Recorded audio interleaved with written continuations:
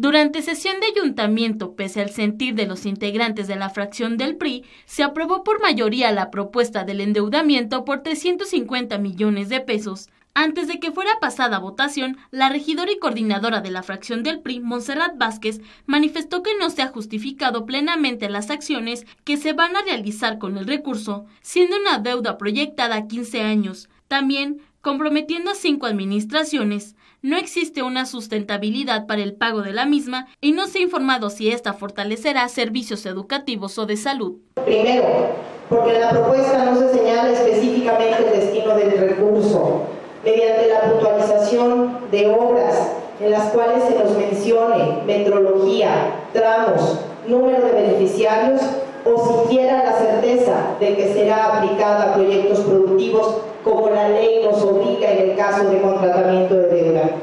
Dos, la deuda es escalonada, no se presenta cronograma ni priorización de la obra, mucho menos se nos presentó corrida financiera alguno como el presidente se había comprometido en reunión previa celebrada con los integrantes de esta fracción. Tres, no hay una tasa de interés determinada, ni mucho menos se nos presentaron siquiera parámetros que den certeza de sus montos. La regidora propuso a todos los miembros del cabildo que pospusieran la aprobación de este rubro y mejor gestionaran el dinero del ámbito federal y estatal, aplicando un trabajo en conjunto con los miembros de las cámaras de diputados locales federales y el mismo Senado. Por lo que ante tal planteamiento solo votaron a favor la regidora Eloísa Cholico y Jorge Montes. ¿Cómo podemos pedir a los celayenses que acepten esta carga cuando no se han dado los resultados esperados a cinco meses de gestión? Mucho menos se han resuelto o siquiera sancionado los conocidísimos casos de corrupción que tan solo en esta administración usted, señor presidente, ha evidenciado.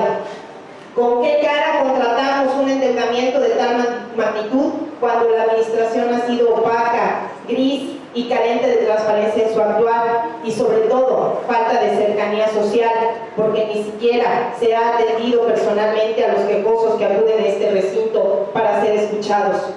Es por eso que en un acto de congruencia, ética política y responsabilidad social, nos oponemos al endeudamiento del municipio por 350 millones de pesos.